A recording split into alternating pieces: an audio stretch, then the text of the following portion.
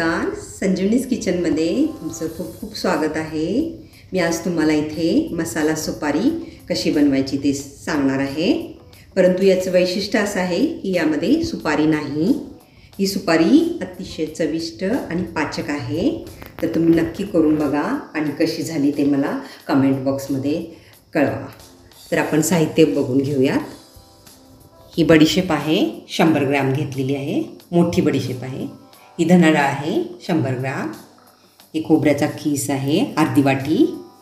हे चार ते पाच लवंग आणि चार ते पाच वेलची आहे. ही ओवा आहे दीड चमचा आहे ओवा. हे काळं मीठ आहे सेंदा मीठ चवीनुसार टाकायचं आहे आपल्याला. आणि ही जेस्ट मध पावडर आहे ती पण आपल्याला तीन ते चार चमचे टाकायचे आहे चल चला तर आता आपण हे सर्व साहित्य भाजून घ्यायचं आहे वेगवेगळं. आपली कढई तापलेली आहे. आपण बडीशेप सुरुवातीला भाजून घेऊया. बडीशेप जास्त लाल भाजायची नाही आहे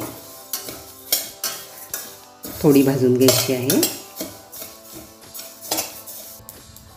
बडीशेप आपली भाजून झालेली आहे. बघून घ्या.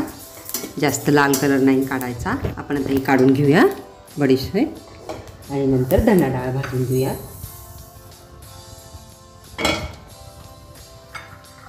चणा डाळ मी टाकत आहे आता. धना डाळ आपली भाजून झालेली आहे. हे पहा. मी काढून घेते एका भांड्यात. हे सर्व थंड झाल्यावर आपल्याला मिक्सरमधून फिरवायचं आहे. त्यात खोबऱ्याचा केस भाजून घेते. यालाही वेळ लागणार नाही भाजायला. एक मिनटात भाजेल. खोबऱ्याचा केस काढून घेऊयात आपण.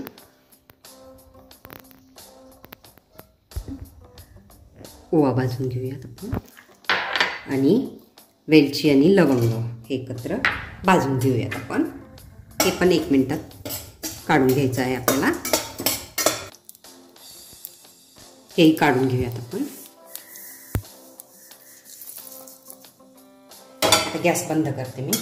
हे सर्व बघून घ्या साहित्य. गरम केलेलं आहे मी. आता हे थंड झाले की फक्त मिक्सरला फिरवून घेऊन आपण त्यात चवीनुसार मीठ आणि जेस्ट मध पावडर मिक्स करणार आहे. मग ही आपली बडीशेप मसाला बडीशेप तयार होईल. हे सर्व मी एकत्र मिक्सरला फिरवून घेतलेले आहे. हे पहा आता मी ह्यात काळं मीठ मिक्स करते चवीनुसार. आणि ही चेस्ट मध पावडर आहे. आणि गोडसर अशी चव येते. आणि पचनालाही ही चांगली आहे पावडर. तर ही चार चमचे आहे. ही सगळी मिक्स करणार आहे आणि मीठ घातलेलं आहे चवीनुसार. आणि एकत्र करून ही खाण्यास रेडी झालेली आहे आपली सुपारी. पाचक सुपारी आहे ही.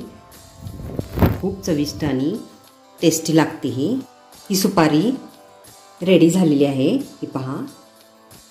तुम्ही नक्की करून बघा आणि लाईक करा सबस्क्राईब करा. थँक्यू